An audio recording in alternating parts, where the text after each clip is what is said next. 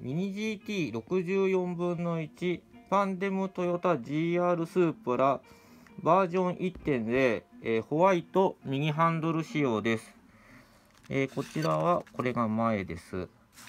でこちらが右横です。でこちらが後ろです。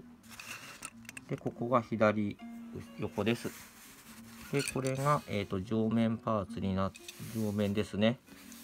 でこちらちっちゃいながらちゃんとこういうドアミラーがついててあのー、細かく、えーと、再現されたモデルになってます。ホイールもこの枠が銀色になって非常に綺麗な作りになってます。